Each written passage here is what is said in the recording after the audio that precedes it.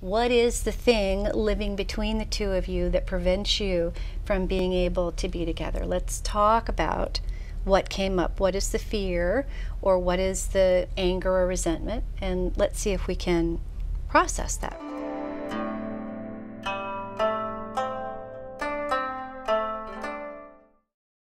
I am Artemis Teagan, and I am the owner and director of the Artemis Center for Family Therapy. I am happy to have two of my colleagues here today, Robin Kim and Veronica Davies. So I'd like to uh, give a specific example of uh, a mindfulness uh, technique that I like to use with couples. And this is typically with couples who are really in high conflict. So, what I might do is ask them if they'd be willing to do a holding exercise. And um, usually they have no idea what that means, and so I get them to agree to it without really telling them what it means. and what I do is I'll have whichever partner is feeling most bereft, most upset, most inconsolable, I will have that partner be the one who is going to be held by the other partner. And so I'll adjust the one partner so that they can actually allow that partner to sort of lay down in their arms and be held in a supported position so that they're not leaning but completely held, almost like a parent holding a child. And um, I make sure that their arms are completely wrapped around them so that they feel completely contained. And then what I actually do is I tell them, I don't want you to say anything to each other, okay? I want you to look into each other's eyes and not say anything. And I'm going to leave the room for maybe five minutes and I want you to not say anything to each other. And give them an opportunity to just learn to be present with each other mm. without being in some kind of consternation, some kind of conflict, some kind of upset. Now, what typically happens is that I give them the five minutes, I come back in the room, and the types of reactions that I'll see is they're either both crying, mm. right, which is lovely, and not really able to speak, which is lovely, mm-hmm. okay?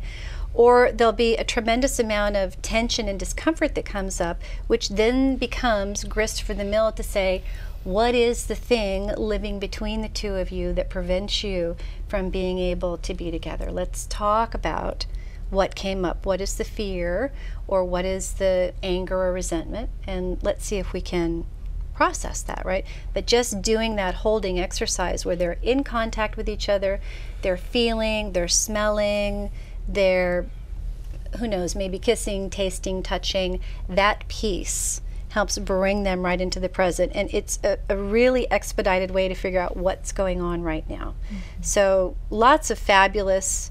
Uh, outcomes from that particular exercise. And usually people come back and want to do it again. And if I don't bring it up, they're like, how come I didn't get to be held? yeah. I want my turn now. As you two are thinking about it, do you have other examples of techniques or exercises that you've used with children and families that have been useful? I think one of the exercises that I've done with either one child or um, siblings or even parent and child is something that actually you gave me the idea for. Okay. Many years ago okay. when I was a trainee, um, and that is to it's using bubbles like yeah. just a regular, you know, magic bubbles. Bubbles. And um, sort of thinking about what are the negative thoughts. Yes. That you're having, um, or even the positive thoughts, or maybe you're just blank and you're not thinking about anything, mm-hmm. but to whatever that thought is, blow it into the bubble and watch it float away. Right. And notice how that makes you feel physically, mm-hmm. how it makes you feel emotionally, mm-hmm. and what are the other thoughts that you might be having about it, and just paying mm-hmm. attention to that experience. Mm-hmm. Um, drawing mindfulness to even the how the soap feels as it drips down your arm, right?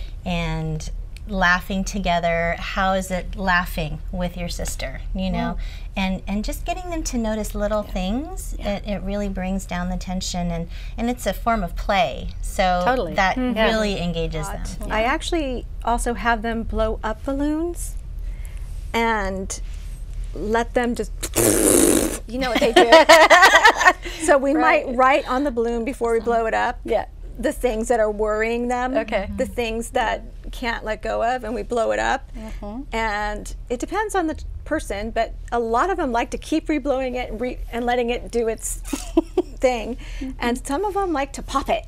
Right. Mm, Which is an example of diffusion, Right. diffusing from your thoughts. They're Right. just not that important. No, they're, they're just not. not, They're that. just thoughts. Not that heavy, right? I had a thought about a family who I'm currently seeing, and they've gone through a really hard time with an illness in the family.